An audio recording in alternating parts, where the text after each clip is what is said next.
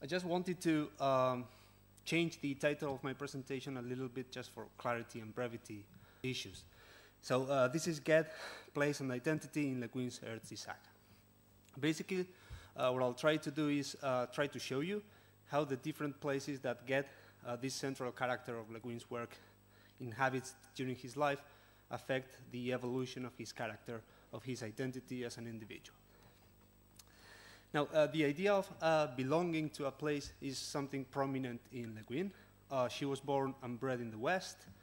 Uh, she was a Western writer, and she wrote from the perspective of a Western woman. And this is something that she states very clearly, and she was very proud of it. Another key issue in her uh, writing, both in her fiction and non-fiction, is the presence of the figure of the other. Uh, these individuals who have been uh, pushed to the margins by the ruling hierarchy, and uh, as a consequence, they've been rendered voiceless and powerless. Examples of this figure uh, in the Earthsea saga can be found in the characters of Tenar, uh, Tehanu, and Ged. The thing is that, uh, except for Tenar, uh, the rest have not been studied too in depth. So what I wanted to do today is just well, focus on one of them and try to uh, you know, understand and analyze a little bit their otherness, their identity issues. Uh, regarding the scope, the general term or the general uh, theory that will use uh, is the theory proposed by Yi-Fu Tuan regarding place and space, regard, uh, regarding the meaning that several uh, you know, geographical areas can develop. And this will be completed by talking about the pastoral and the so-called middle landscapes together with some ideas on hybridity and otherness as proposed by uh, Homi Bhabha.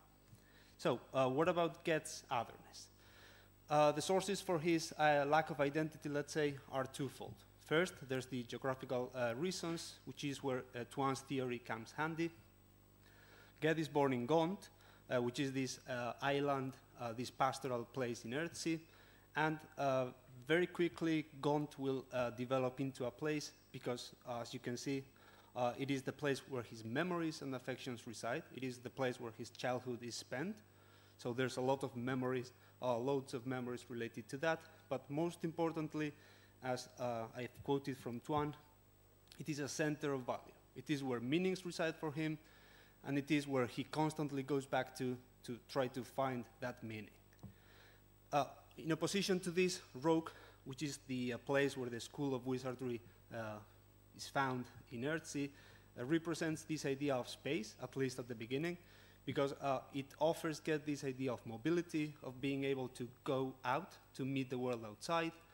It also offers him this opportunity of perhaps, you know, meeting other people, uh, meeting other, or, you know, um, visiting other places, or even this idea of abstractness, which means that uh, now in this new space, he will be able to become what he wishes to become, not something that maybe he was predestined to be.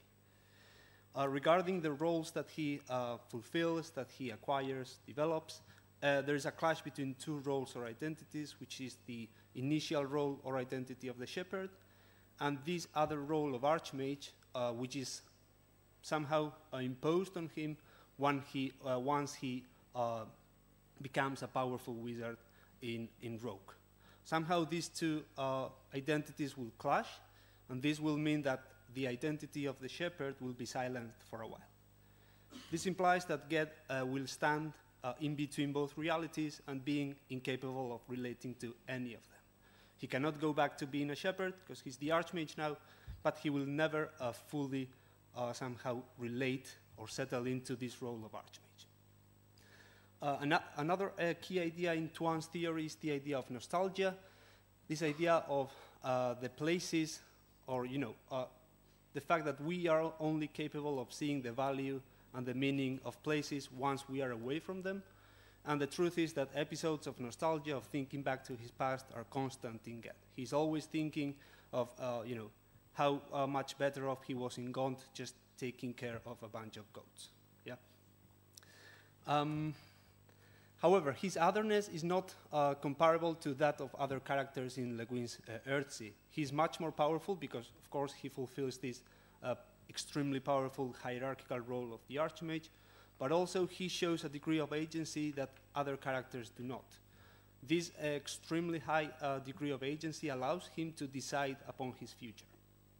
Uh, we can see this in the, uh, in the novel The Farthest Shore, the third novel of the original trilogy, when after uh, using up his power to try to mend the wrongs made by this uh, evil wizard Cob, he sees his power has been spent and he decides that he doesn't want to go back to Roke. He doesn't want to uh, continue being a wizard, and instead he moves to Gont, to his birthplace. Now, uh, we might think that this going back home uh, implies that he will immediately be able to relate to his identity of old, but this is not true. He still finds himself uh, in between two realities, in between the reality of the shepherd and this reality of the wizard, which has been somehow left behind. Uh, those around him see him as a shadow man, no good to anyone, a dead man forced to be alive. It is at this point uh, that his hybrid identity, which means this original mixedness that all of us uh, have within us, uh, comes to the surface. He's first uh, put in contact with his hybrid identity, let's say, at this point. Now, uh, this uh, idea of lacking an identity is said to be also uh, a gate to being able to develop an identity of one's own in one's own terms. So one can decide what they want to be. Uh, in Ged's case, nature will be central to this development. Uh, now that he uh, is back in Gont, he will develop a relationship with nature based on just you know, being with it, of existing in nature and cooperating with nature, not just using uh, the power that nature can offer to act uh, in a universal scale as uh, he did when he was an archmage. Uh, it is also interesting to see that uh, Gont, as a pastoral place, uh, this idyllic place, has a lot to offer to him in relation to his identity. these are ideas taken from the work of Greg Garrard and Marx, and they, uh, for example, they oppose pastoral in relation to this idea. So pastoral can be uh, or can stand in opposition to civilization, which in Earth is represented by this social uh, epicenter of Roke.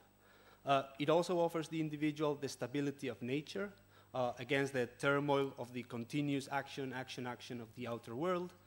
Uh, they also stand away from power struggles. In pastoral places, there are no power struggles as there could be, for example, in uh, Roke, in Earthsea. But most importantly, they offer the individual this uh, opportunity to lead a life of just mere contemplation, mere being and existing. Uh, now, so uh, little by little, I'm going to jump a little bit through this. Uh, Ged will uh, start revisiting these places of his childhood, especially an area in Gont called Re Albi, which is a mountain area. And he will be able to see how um, these places somehow um, have a meaning in store for him, a meaning that he can relate to, but at the same time, he's also uh, capable of uh, giving meaning to these places. So this, this taking and giving of uh, meaning implies that these places of his childhood, in light of Tuan's theory, will start becoming place again, will start to be concrete places that he can relate to. Uh, also, uh, the, now uh, that he is back in Gont, he will take up again this activity of goat herding. Um, and the most important thing that this activity will offer him is the opportunity to be with himself, to be alone up in the mountain, because this will allow him to, uh, this will allow him somehow a time of introspection where he will be able to look inside and you know, ask the questions that need to be asked and somehow obtain the information that he, he needs at this point. Um, so uh, this also implies that um, he will have to somehow cry for himself. There's this idea of grief, and it is through this idea of grief, through uh, trying to cry his past somehow, that he will be able to acknowledge that within himself there's two identities. There's this identity of the shepherd, and there's this identity of the wizard. None of them is evil, they are both good, they're just there, and they make up who he is. Um, uh, yeah, and lastly, basically, um, one key element in this new relationship with nature that Ged will develop, and in this road to accepting his hybrid self, will be the idea of work. Uh, this is a quote uh, at the end of the fourth book. Um, by this time, Ged is living up in the mountain with uh, his partner, and a child. And uh, this is the partner's quote. She says, Shall we live here? I have money, she said, enough to buy a herd of goats and Turbis winter pasture if it's for sale, if it's still for sale. Ged knows where to take them up the mountain summers. So we see how the prospect of being able to work, and most importantly, being able to work the land, are essential for, their, uh, for them staying there first, and then second, for Ged to be finally able to reconcile with himself. Um, and here I would like to uh, include this idea of the middle landscapes. This is something proposed by uh, Leo Marx. Uh, middle landscapes are basically spaces that stand between wild nature and society, and they are uh, places where uh, their society lives in communion with nature. They work the land, but they never pose a threat to, the, uh, to nature. At the same time, as nature uh, is not a threat to them. So there's this kind of harmony, as you can see here, between art, which means uh, work, and nature. It is also interesting to see how, as Carhart comments, the American uh, pastoral tradition has this element of work as necessary to establishing an appropriate relationship uh, with nature. And they both uh, agree somehow that uh, the idea of working the land, the idea uh, of you know, existing together in communion with the land, uh, grants the individual this possibility to come out as some, someone new, as someone improved, this kind of renewal or rebirth, as you can, as you can see here. Yeah? For example, Marx says, a landscape means regeneration to the farmer, representing the possibility of a secular, egalitarian, naturalistic resurrection. So, you know, coming up as someone new. Uh, so um, basically what um, does is, in this road to acceptance and to finding an identity for himself, is he, uh, by going back to his origins, he's able to establish first a proper relationship with nature, which uh, as a consequence will allow him to accept the different bits and pieces that make up his identity. Um, this is a quote from Tonia Payne, and she says that uh, nature in Le Guin's stories has an impact on the human beings who encounter it and brings them freedom, which is exactly uh, the case of Ged. And I'd like to finish with uh, one quote. So by the end of the Earthsea saga, uh, we can see that Ged, through living a life of simplicity and work, uh, is able to have a happy life. He's okay with his identity. He's okay with what he is, with what he has been, and he, he, can, sorry, uh, live a life of satisfaction. This is a scene right at the end of the last book uh, when Tenar, who's Ged's partner, comes back. Um, they are sitting out in the porch, and this is what we can read. Uh, Ged looked at Tenar and smiled, the broad, sweet smile that she thought, perhaps strongly, perhaps rightly, nobody but her had ever seen on his face. So we can see Ged is a happy person after all. Yeah? These are the works I've used, and thanks.